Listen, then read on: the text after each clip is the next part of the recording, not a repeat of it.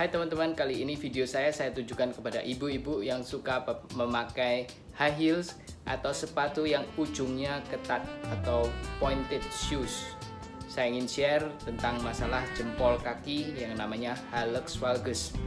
Saya Dr. Tony Setiobudi, dokter bedah tulang dan bedah tulang belakang di Mount Elizabeth Hospital, Singapura.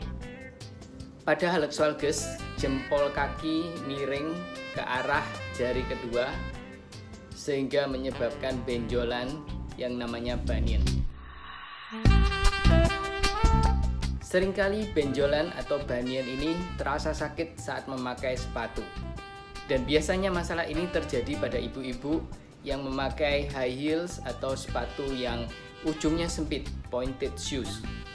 Orang yang punya masalah dengan flat foot atau kaki datar juga sering kali terkena hallux valgus dan masalah ini juga bisa menurun di keluarga dari orang tua ke anak. Kalau mamahnya terkena hallux valgus, kemungkinan anak perempuannya juga bisa terkena hallux valgus. Jika tidak ada intervensi seperti memakai sepatu yang lebih longgar, maka hallux valgus ini akan memburuk secara perlahan-lahan dan akhirnya dapat menimbulkan pengapuran di jempol kaki.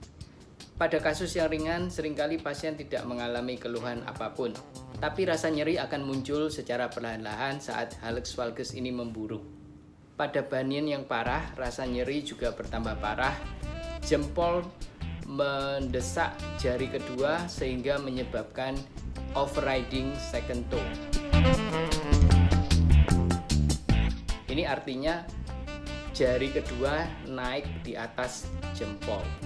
Pada video berikutnya saya akan membahas bagaimana cara menangani hallux valgus.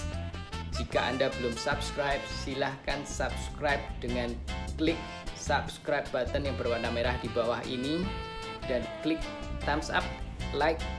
Silahkan share video-video ini kepada teman-teman sekalian. Terima kasih.